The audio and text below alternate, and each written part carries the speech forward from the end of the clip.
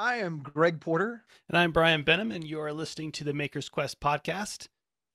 And today we are discussing developing new design ideas. So, Brian, as your as clients approach you and you're asked to come up with new designs for them, how how do you start to generate the ideas that are going to become your final piece?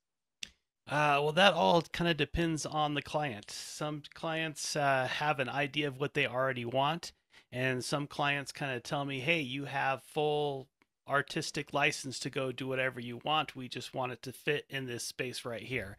So I usually start out by just asking a lot of uh, questions to the client about what kind of use they like, uh, what kind of woods they like, just to kind of get the conversation rolling.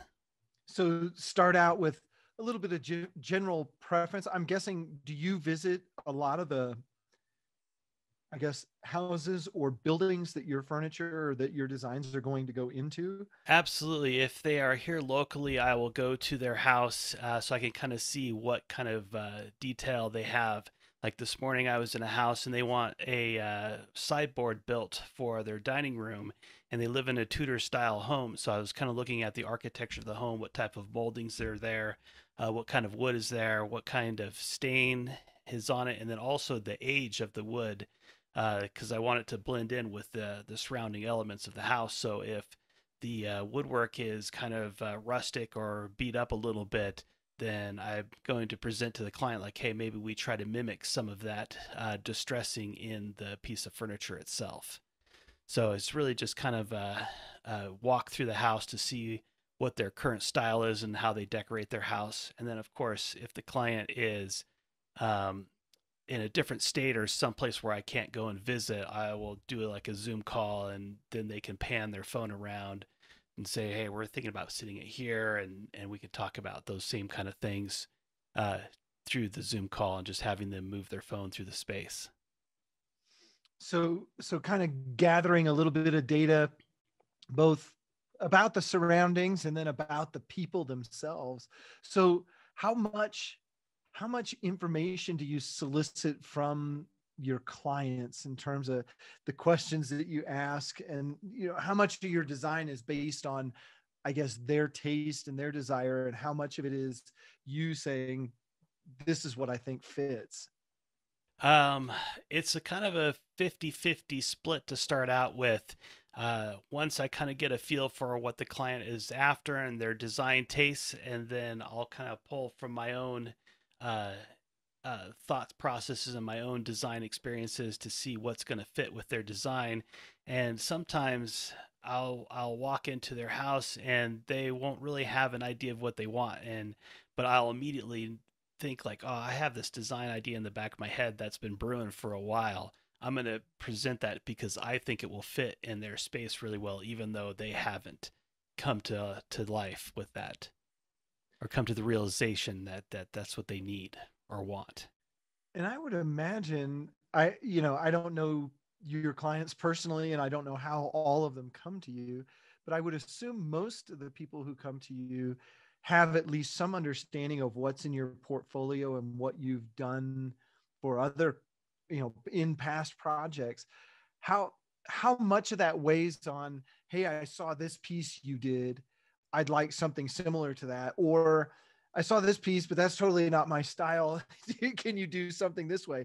How i guess how much do you do you use your past portfolio to generate ideas for new projects? Uh, that happens from time to time. I uh, just kind of used uh, that past portfolio work on a project that I just finished up where I designed a media shelf for a client. And I pulled some design ideas for the segmented ring that goes into the center of the media shelf from a desk that I had built a few months ago. Uh, and the the client that ordered the shelf didn't ever see the desk that I built a few months ago because when I first started designing it, that's what I was building in the shop. So that's kind of what was in my mind at the time. So I was like, wow, it'd be cool to redo this because I really like how this looks. I'd like to iterate on that design idea. And so then I, I pitched it to that client to see if they liked it. And then once we got talking about it, uh, realized that if we made a few design changes, that it would even fit better with their design. They were really into um, Smash Trophy from a Super Mario Brothers, and that Smash Trophy trophy has a very distinguished, uh, or not distinguished. What am I trying to say? Um, distinct. Distinct, yes, a very distinct uh, shape to it that was very similar to the segmented ring, and so we we uh, redesigned it a little bit to make it fit uh, to look kind of like that trophy. Now, if you didn't know anything about the Smash Brothers or, or, or sorry, about Super Mario Brothers or the Smash Trophy, you'd probably never realize that that's what that kind of looks like because it also looked like this piece of geometric art. But if you're into um, Super Mario Brothers and you know that the client's into Super Mario Brothers, like if you're friends with them and you walk in and you're like, oh my gosh, there's there's the Smash Trophy hidden in this design.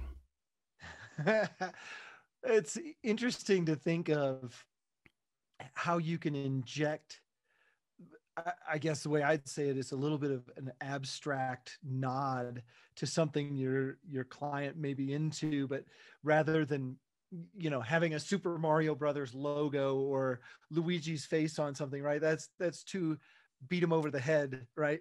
When you can abstractly kind of weave it into the language of the piece that you're working on, that that to me is a total different level of mastery in terms of design being able to hide something in there that only people on the inside will recognize. A little easter egg.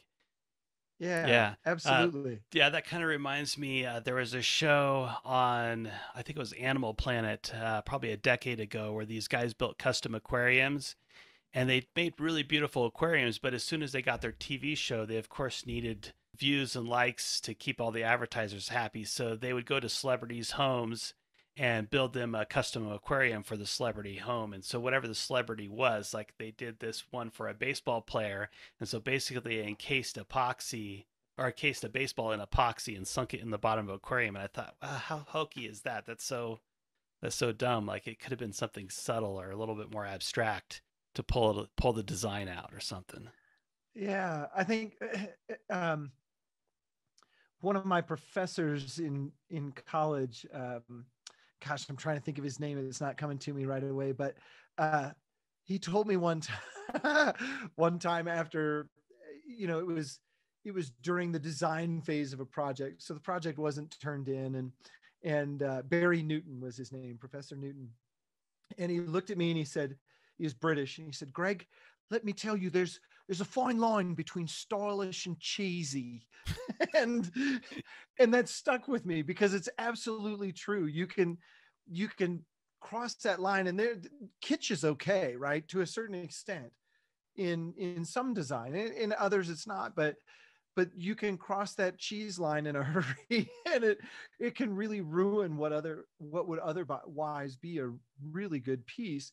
But then there's like i say i, I think there's a mastery with uh, some designers being able to really just delicately weave in a concept abstractly into a piece and and it really takes it to a new level because again it's not something that's going to hit people over the head when they see it. They're not going to, like you said, you look at it and think, "Oh, there's the Smash Trophy from Mario Brothers." They're they're going to look at it and, "Oh, that's a really cool geometric thing." But somebody who really knows that person and knows they're into the Mario Brothers or whatever video games it is, that they'll be able to identify that and say that was really cool to be able to work that in there.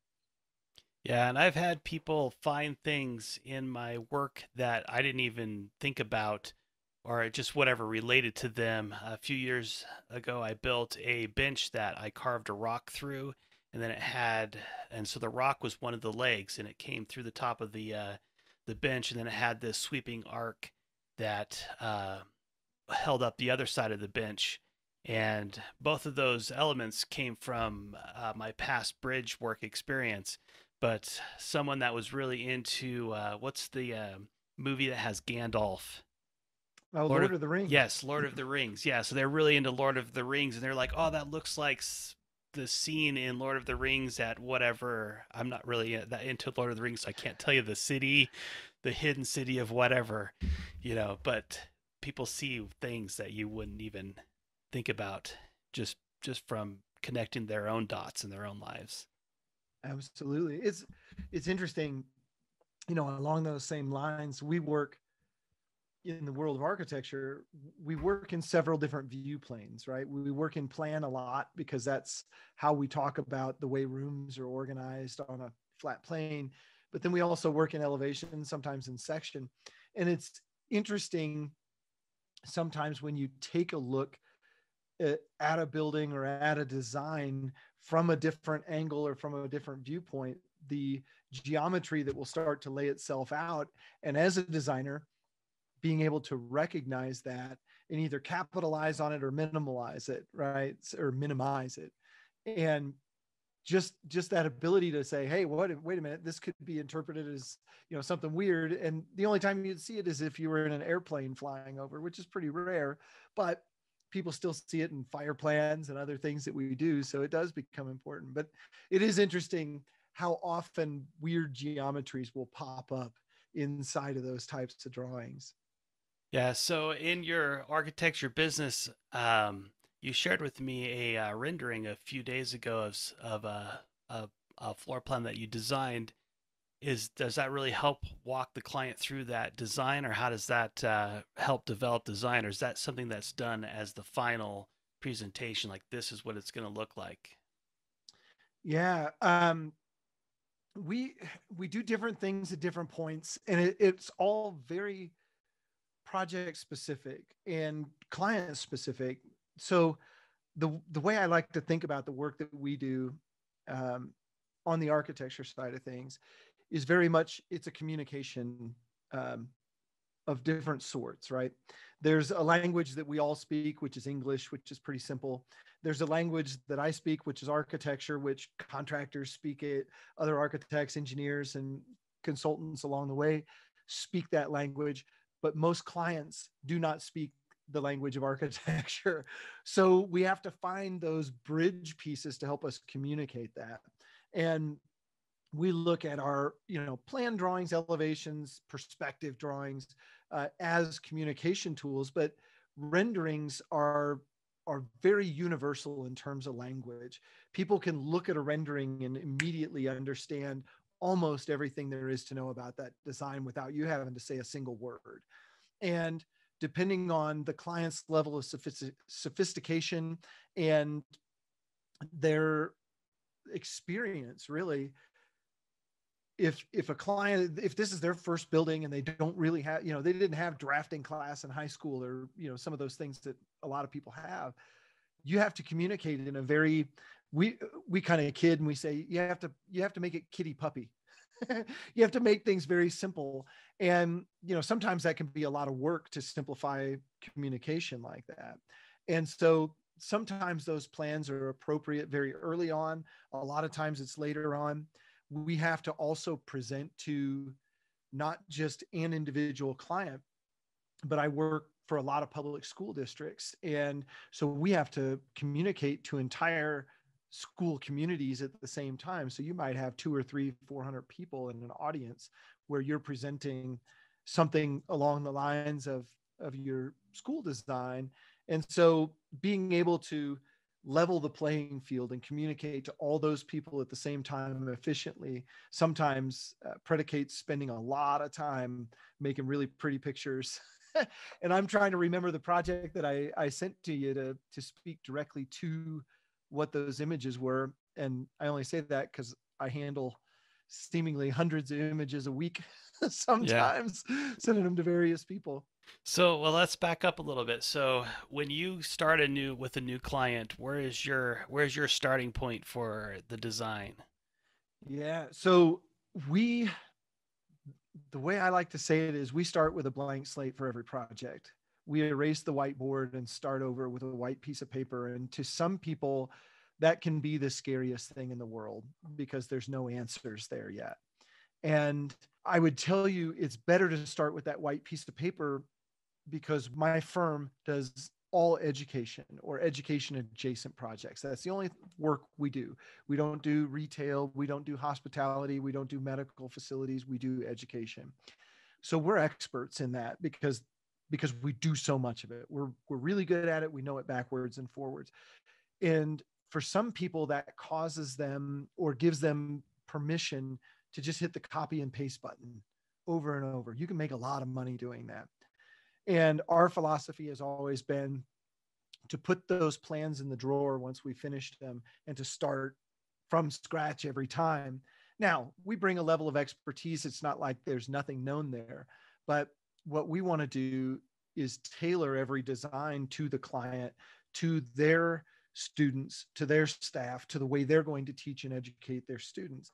And I don't want to go off on too large of a tangent, but to me, as a designer, you have to be incredibly confident in your skills to show up with a blank piece of paper and say, "We're going to make this a building today." Yeah, or any, anything that you do. I mean, just just like this podcast, every time we hit record, there's a little bit of like, all right, we got to kind of feel out to get the conversation going, and then once we get the conversation going, it's, it's we all everything just kind of gets going, and I think that's really a hard thing to do, even with every client I speak to uh, is to get the conversation going. Like they they have an expectation of me, I have an expectation of them, and we don't know what our expectations are until we start talking about it. So so once you got your your conversation going and you have some things laid out uh, from the from the client, some ideas of what they want and how they work and how they do. What's your next What's your next step? Do you start designing the structure first, or do you start designing uh, the uh, what's the word I'm looking for? Like the interiors, the color palette, the uh, that kind of mm-hmm. stuff. We we tend to go. I I would almost call it formulaic, but that's that's really not. It's not fair. Building design is not a formula by any stretch. There's so it's such a complex process, but there are phases to it where you start to build detail. And the way the way we always explain it is you have to bring everything up to the same level of incompleteness and then move to the next thing and bring everything up to the same level of incompleteness. So i would tell you the process we use we call it co-create. That's a, a word that we trademarked and it means that we try and pull out of the client all the information and they become one of the creators of the building and again they don't speak architecture we do but we ask them all the questions in English and all the questions in their education language and pull out of that as much as we can. And then we use our expertise to push that into architectural form. And we start out essentially what we try to do is we try and group like things or group uses and purposes. And then we start to look at the circulation through a building and how it works. And then we start to ask ourselves, how some of those functions start to overlap and interact with one another. And that's the space where I think we can be creative. And I'll just, everybody went to school, right? So everybody kind of understands classrooms and corridors and where the principal's office is. But there's another layer once you get beyond those things where you can find these really cool um, I would call them collaborative areas, multi use areas, flexible areas, um, areas that can be used for more than one thing simply by reorienting a room, moving a piece of furniture in and out, uh, closing a wall, doing anything like that.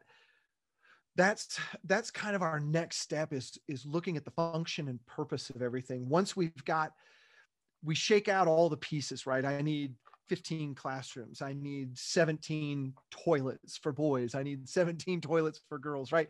Like that Excel spreadsheet of all the things I need. In your world, that might be, you know, if I'm building a desk, I need a belly drawer. I need space for some hanging files. I need space for, you know, something else, right? People, people who have you build them a desk could go to Office Max and maybe find a desk that kind of works, but they want you to build one that looks the way they want it and functions the way they want it, right? Right. Yeah. So, like the desk client that I built uh, a couple months ago, uh, his main thing was that he wanted a center drawer that he could put pencils and rulers and things because that was like his main thing. He had his uh, iPad or whatever iPod or i whatever. I'm not a Mac user, so I can't tell you what all the things is. But it was a, a notebook, an i notebook or whatever, and that so it didn't need any kind of special hardware for computer cords or anything like that. But his main thing was that he takes a lot of notes while he's on conference calls, so he wanted a spot for his notepad and his pens right there in the desk, and then um, he wanted at least one file drawer. Most everything's on the internet now, but at least one file drawer, and then the rest of the drawers could just be for storage of clutter or whatever whatever he wanted. Right. So that was my starting point. I needed at least it to be big enough for one file drawer and a center drawer, and then we built the design around that. So that would be we would call that programming. That's our very first step. That Excel spreadsheet. How many square feet? What what are the uses? What does it need to be close to?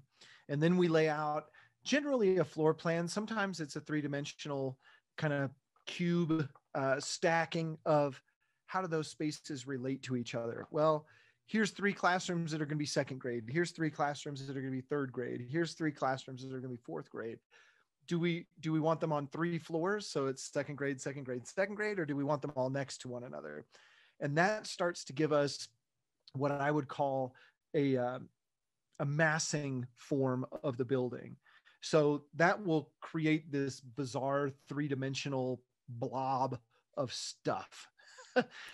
that's when so that would be like schematic design. Well here's how we're going to walk around these classrooms. Here's how we're going to do this. Here's where admin is. Here's where the public comes in. How, you know here's where kids eat and go to gym class. Then we do uh, what's called design development.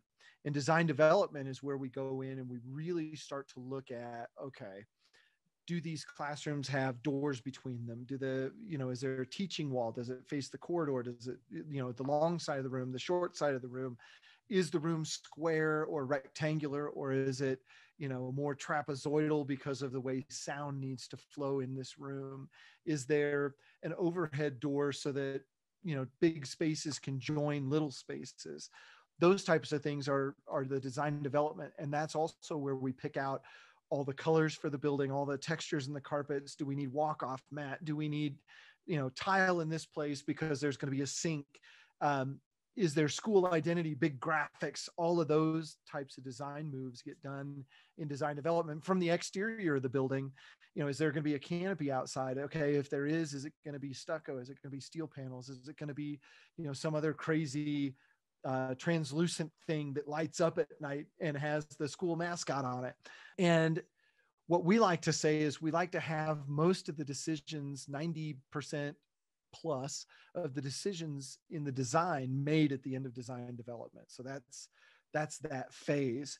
And then the last phase of the project from a design perspective is construction documents. And that's where we go in and actually detail down to the nut and bolt type level of how all of these things go together.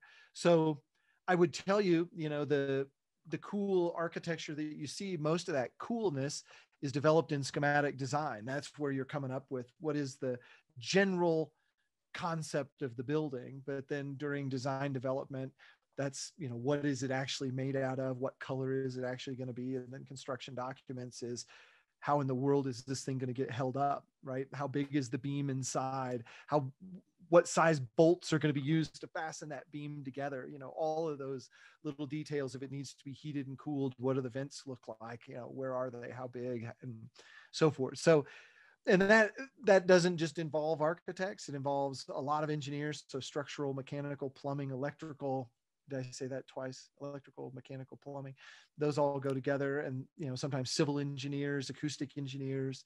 Uh, there's there's a lot of people involved in that design process. So interestingly enough, I mean the the big contrast here, Brian, is I work in a team of maybe 20 people sometimes. So the pressure's off a little bit when it comes to design ideas. You can look around the room and say, who else who else thinks there should be something different here? Yeah.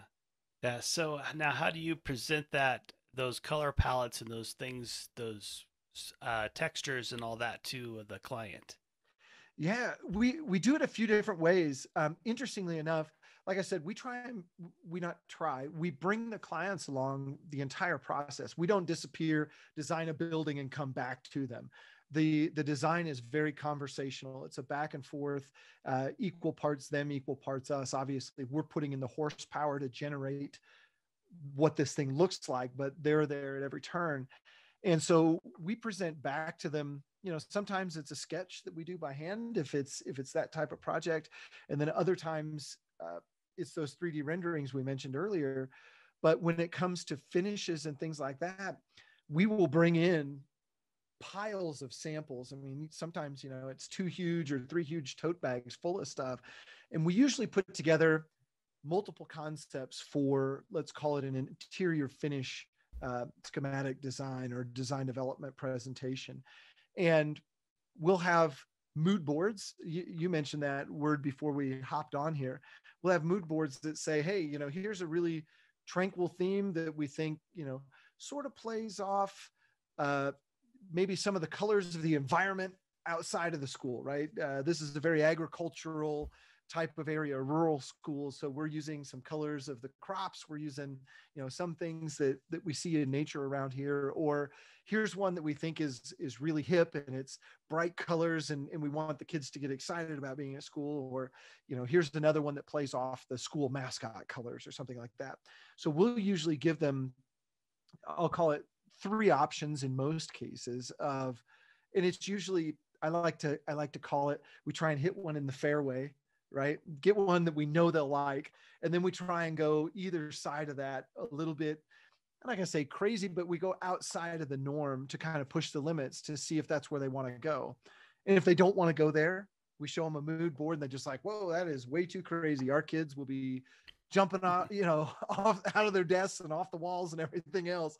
If we painted these bright primary colors, we'd like something a little more subtle, a little more adult. And obviously, as you as you go from very primary school education to middle school to high school the color palettes the finishes become a little bit more refined a little more adult and uh, not quite as i don't know I, I don't know if i'd say crazy but you know kindergartners got to be able to find their way to the classroom and a lot of times that's through color so I'm in the yellow corridor, I'm in the yellow hallway. Well, you're going to paint a lot of things yellow if you're in the yellow hallway and you have mm-hmm. kindergartners walking around. Right.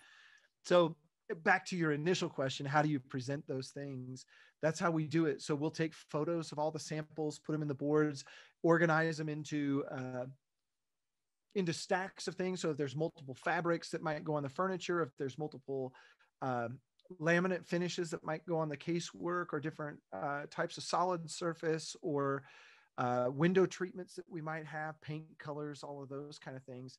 They stack on these on these mood boards uh, that we share, and we share those back. And usually there are some very strong opinions from the staff when it comes to those things. Uh, you know, they've got to live and work in those environments, so we need to make sure that it's it meets their needs and doesn't doesn't become an annoyance. That it's something that supports what they're trying to do. Yeah, so I go about it very similarly, but at a much smaller scale since I'm designing one piece of furniture. Uh, I think a good example was uh, a few years ago, I designed a bar cart for a client that was a mining engineer, and uh, they wanted this cart to kind of represent their mining engineer. And I didn't want it to be cheesy like the uh, baseball and the epoxy at the bottom of the aquarium example I mentioned earlier. Um, but I went out to uh, the mining museum here in Colorado, and I took pictures of mining carts and to kind of get a feel for what they look like and how they were constructed, so I could build something that actually looked or resembled like this bar cart. And so I took things of the texture, how much rust it was, uh, wear points where you could see where people had grabbed onto that lever or onto the cart to push it or whatever to operate it, and uh, the rivets. What did the rivets look like? And then just the overall proportions. And I discovered that uh, mining carts are very ugly in their proportions. Uh, they're designed to hold lots of things, not uh, wine. So I had to redesign the proportions. But um, then I took all those little pictures and then I sent them to the client and then asked them, you know, what they thought about those pictures and what if they liked a lot of rust or if they wanted to be look like it was a brand new cart, if they liked the rivets. And then from there, I would make stain samples for the wood to of, of the aged wood if it was if it was black or grayed out, and also sent them a a rivet that I would use in the cart to make sure that they like the shape of the rivet and the texturing on the rivet uh, for them to approve. But that was after the initial um, pictures that I sent, just so that we're not wasting a whole bunch of time to kind of narrow down the field a little bit. Well, it's it's interesting you mentioned that you know getting inspiration from something uh, either a client mentions or that you see in real life. One of the things that that we do as a studio uh, that I've always done personally, and I've seen in several studios that I've visited, has been inspiration boards. And it's really interesting to see when you visit a designer's workstation what they have on their inspiration board. You know, some people, I, I'm remembering back to when I started my career, if you remember the iMac that came out that looked like almost a piece of candy, and how revolutionary that was in computer design. You know, up to that point, everything was very angular and ortho, orthotic, orthotic, uh, orthogonal. yeah. And and really uh, utilitarian. It was like the case around the monitor was only as big as it needed to be to enclose that big uh, proton beam or whatever the hell that thing is that that shot the picture. You know, but but all of a sudden the the designers at Apple said, "Oh, we're going to do this iMac," and and how many people had images like that on their inspiration boards because that was the language that everybody wanted to speak in this, you know, injection molded plastic, colorful, cool, translucent thing. Um, but I can tell you on my inspiration boards, uh, I almost always have a few cool cars that are out because I think the lines and the way that car designers approach form and shape it, it, has to be aerodynamic it has to be functional it has to look cool it has to reflect light a certain way that makes your eye look at certain parts of the vehicle and then um, I, I always call the headlights the window to the soul. They're just like eyeballs right? When you when you look at the headlights to a car how much you see. And and the same can be true about buildings. When you look in the front door that can be the window into the building's soul. Um, but it's interesting again when you visit designers from all different types of industrial designers to car designers to airplane designers uh, building designers you name it and you take a look at those inspiration boards the type of photos that'll be on there. And of course, I always have some cool architecture that's on there. Um, but then there's usually shoes that I think are cool or clothes that I think are cool, you know, new trends and in whatever it is. And part of it is staying up with just what designers are doing, but then it's also texture and it's color and how things are put together. I think all of those things when you're generating new design ideas. Those are things to draw from. I've seen, uh, gosh, one of my guilty pleasures, Brian, used to be watching um, Project Runway, where it's it's clothing designers, right, in a competition. But one of the pieces um, that that I that still sticks with me today, one of the contestants made a dress that was based off the Chrysler Center in New York and it was such a cool way to abstract a piece of clothing and and that stuck with me as, as a designer that you can get inspiration from anywhere for for anything. You just have to be able to in your mind abstract it to the thing that you're trying to build. Yeah i would have never thought uh thought project one runway would have been a, uh, guilty pleasure of yours. I thought for thought like uh the weekend car um some show or something like that would have been well, thing, let, us uh... be perfectly clear. I'll watch horsepower TV all day long, but every once in a while, and and and uh, you know, to kind of dive deeper into that, one of the big reasons I watched Project Runway is because of Tim Gunn, who was um, he was a professor at uh, oh geez, I, I can't remember the the name of the design school. It's escaping me now but his ability to criticize design is second to none. He has such a fast eye for what's right with something and what's wrong with something.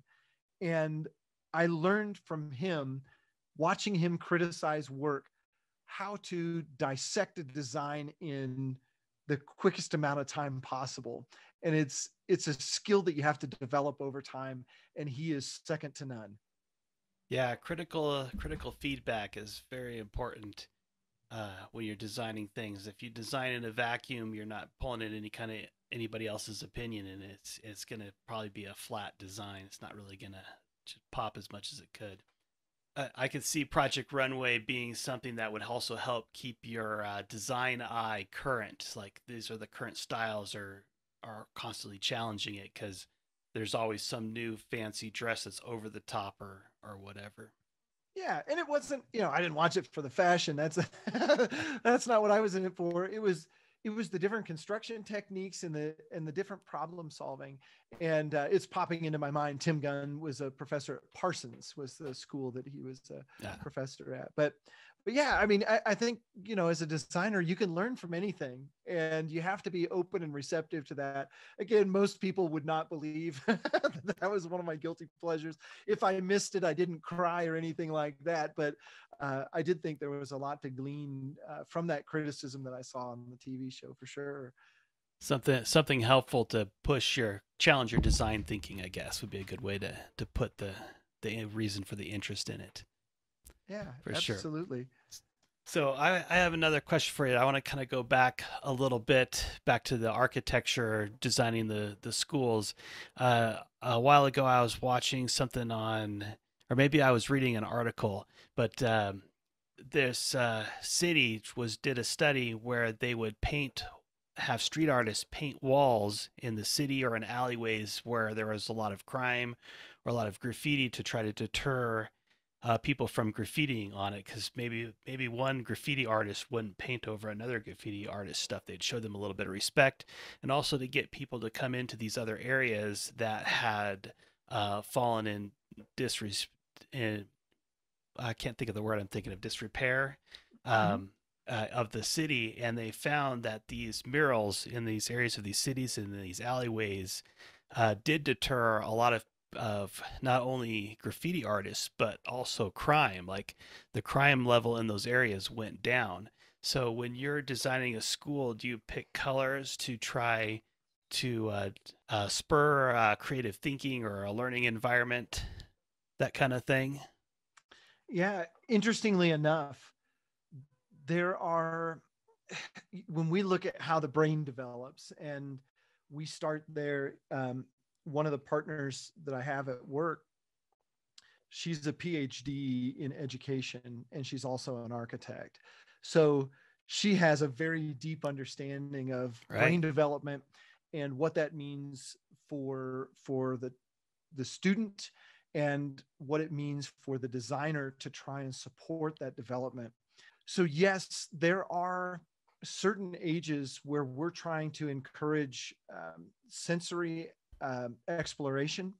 So we're trying to put in front of the students colors, textures, things that feel different, that are weighted different, um, whether that's the carpet they're walking on, whether that's the colors on the wall or the things that they can touch as they go by. I mean, everybody remembers in grade school having some masonry block wall and running your finger in the grout the joint all the way along, right? Mm-hmm. Yeah. And and that is as as strange as that seems to think about it that's part of the development of your brain is taking in that sensory information and being able to process it into into some other level of understanding.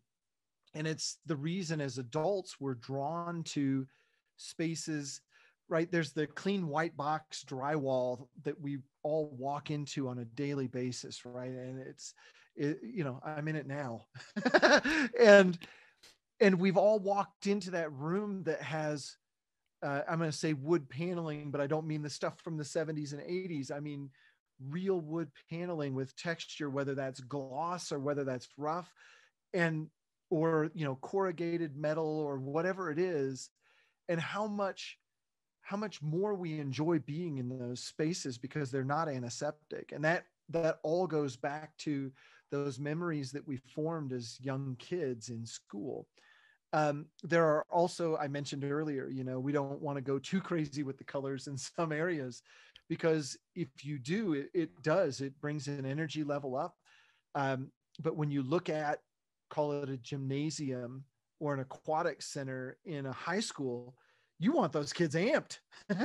So you don't want to be putting powder blue on the wall. You want to be putting you know bright red or whatever it is. You, you want those energetic colors and you want those really bold graphics to stand out. And when I say graphics, that can be, you know, a logo or a printed thing, but it can also be, I, I think again, we've all experienced, you know, the cafeteria with the racing stripes around it, right? Mm-hmm. I think we've all been in that weird uh, 1970s or 80s decorated space. But you can make these really bold architectural moves that maybe there's pilasters on a wall that are really bold colors that sink back into you know a, a, field that's very neutral. And those bold colors become a graphic. So it's it's the architecture being expressed as a graphic. And some of those things absolutely are very intentional. Uh, and others uh, you know sometimes there's a hey we only have the budget to do an accent color in in every room on one wall. So it's going to be white and fill in the blank. And sometimes we let the teachers pick those colors, and sometimes we let students pick those colors. Um, I feel like in the construction process, paint is about the cheapest part of the whole thing. So let's have fun with the color if we can. And and if it's a poor choice, we can always change it, and it's not that expensive. Yeah, that's a pretty cheap way. Yeah, there is a study done where uh, uh, interrogation rooms or booking rooms where the police would bring people to book. They painted, I can't remember what color it was. Maybe it was like a light purple or something.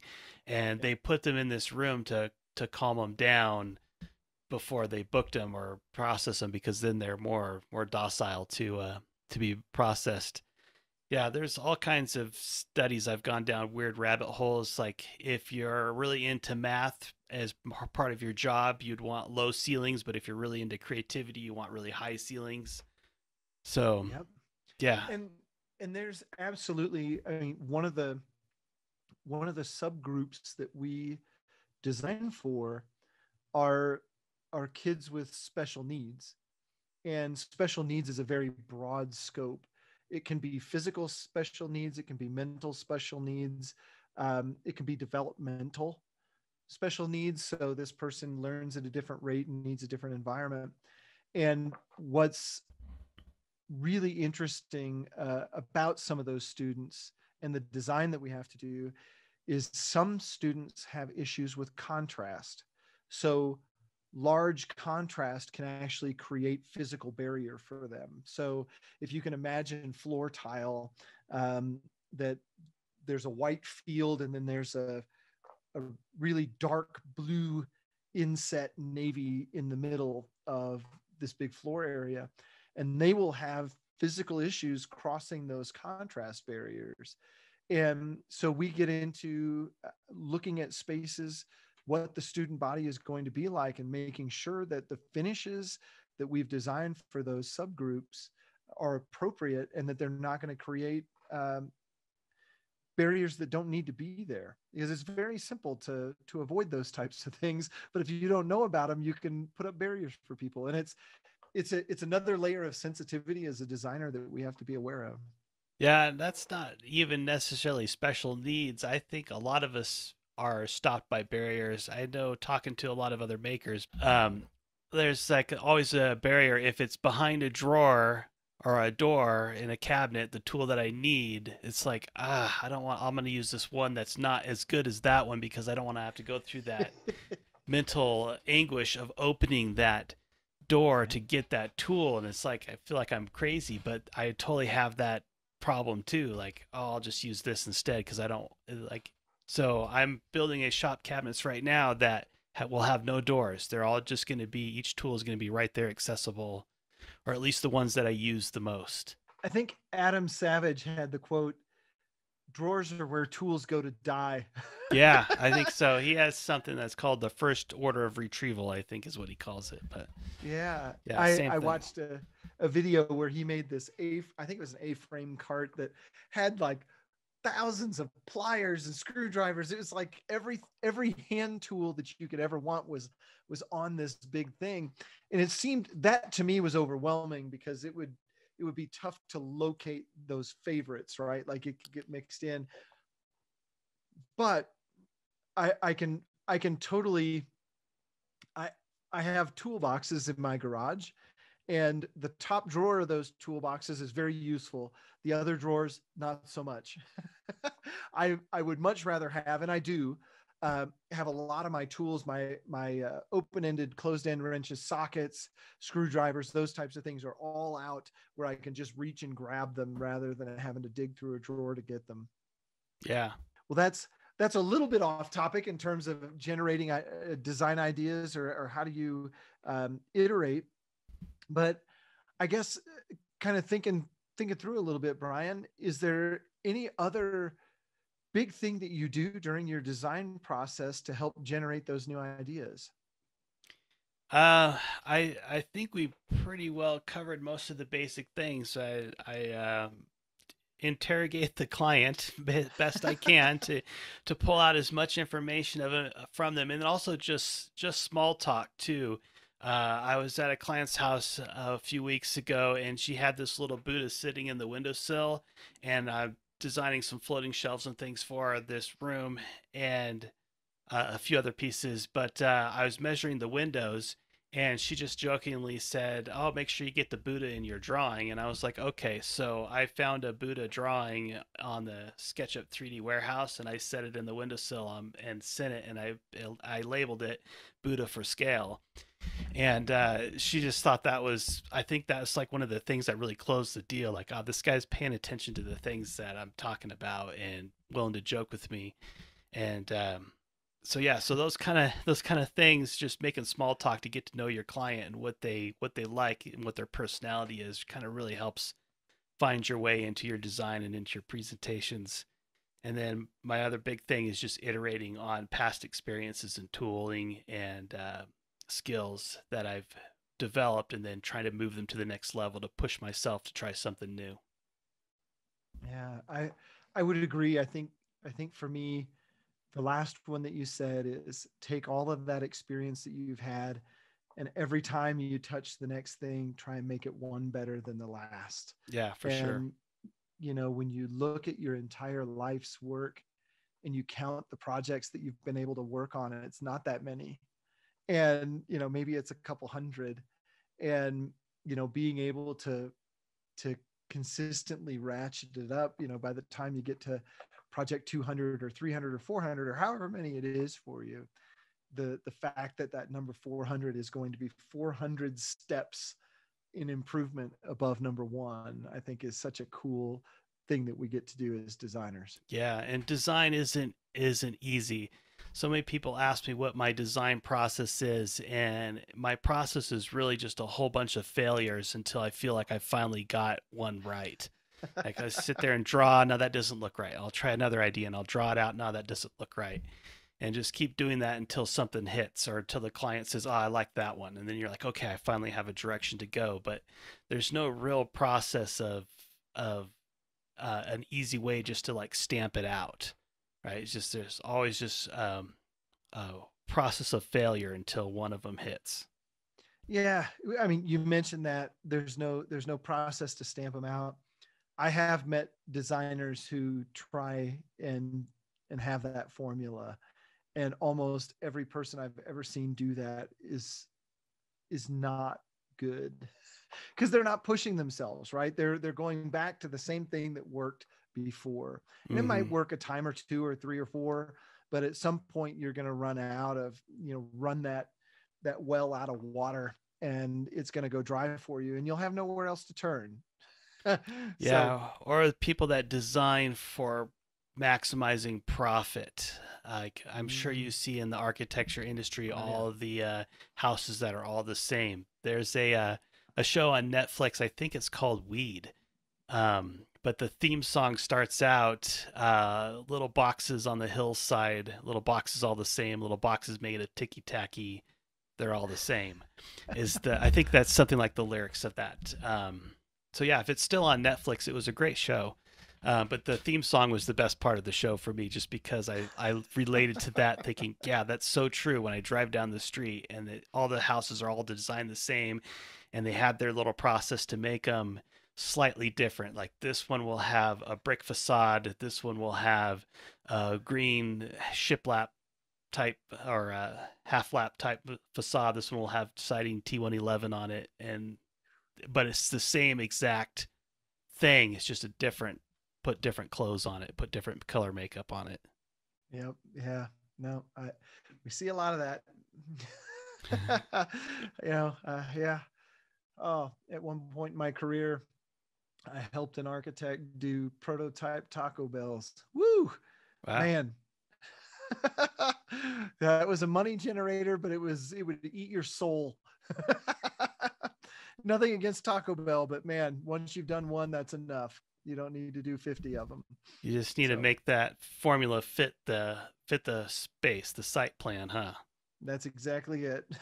we have this many square feet. We need this many cars to stack, and uh, start now. so, anyway, well, well, cool. It was uh, great discussing how we generate design ideas. I think each one of us do it slightly different, but there's definitely a lot of overlap in terms of how how you get started and then how you develop those ideas into final pieces. Yeah, absolutely. So, should we end it here for this evening? Yeah. All right. I'm Brian Benham, and you can find me at uh, brianbenham.com. It has links to all my YouTube channels and Instagrams and all of that. And you are? I am Greg Porter. You can find my information at gregsgaragekc.com or skyscraperguitars.com. All right. And if you can't remember all of that, just go to the makersquest.com, uh, .com, our uh, website for our podcast, and we'll have all those links there for you.